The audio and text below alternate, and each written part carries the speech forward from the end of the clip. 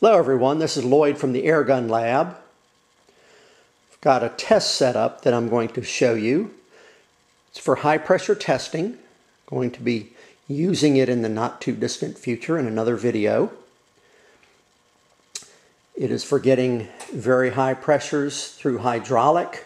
Got an air over hydraulic multiplication cylinder right here. So we'll take a look at this cylinder. Up at the top end, and here, we've got an inch and an eighth bore in it. And down at the bottom, and this inch and an eighth bore is where the air comes in. It feeds in through this line up here. Then down at the bottom, I've got a hydraulic cylinder in here. So this air, inch and eighth pressurizes this hydraulic, and the piston for the hydraulic is 0.482 diameter. And the hydraulic pressure comes out of the bottom down here. Now, we're going to be pressurizing this air at the top with my hand pump right here. And the hand pump, see if we can zoom in a little bit here. Okay, the gauge says it goes up to about 6,000. I've only been able to pump it up to about like maybe 3,300 or so, but we're going to be quite a bit less than that today. So the line coming out of the hand pump is going to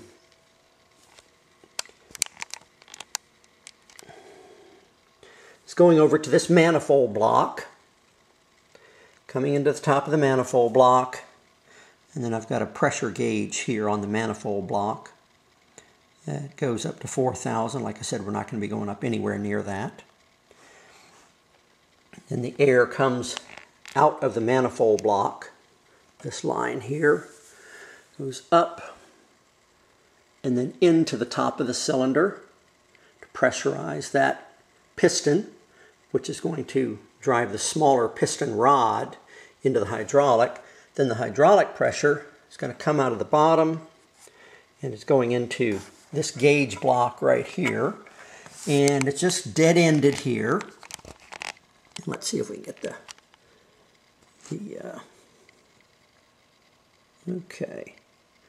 So that does say 6,000, goes up to 6,000 PSI. That's the highest one that I have uh, at this time. And if we take a look at the math on this, the air cylinder at the top, 1.18 diameter, and the rod that pushes on the oil, 0.482, and the ratio of the areas is 5.4 to 1, so that means you're going to get about a 5.4 to 1 multiplication on the pressure. So I'm going to go ahead and put this uh, recorder on a tripod, and we'll go ahead and see what this does. Okay, we're set up, ready to do some testing now. I'm going to go ahead and zoom in on the gauges.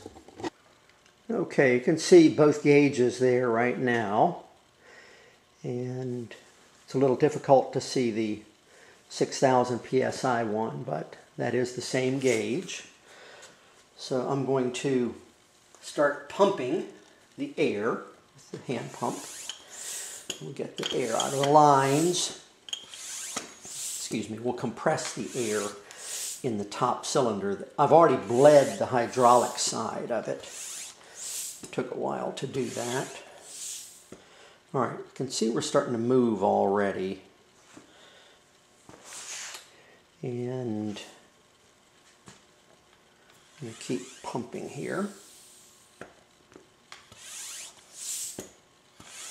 We're at about 500 on the low pressure side.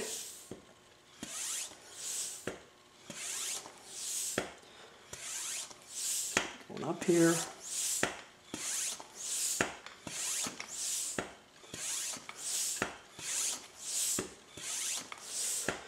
Okay, we're about at 4,000 on the high pressure. Keep going. 1,000. On the low.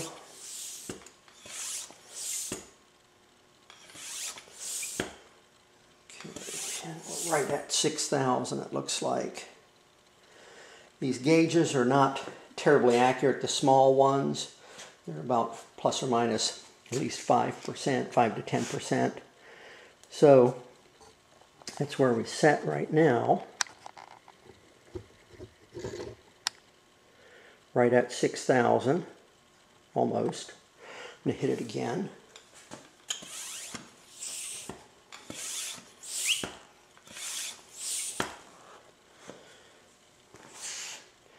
Okay, I'm going to go ahead and bleed the other side, bleed the air, and we'll see what we get.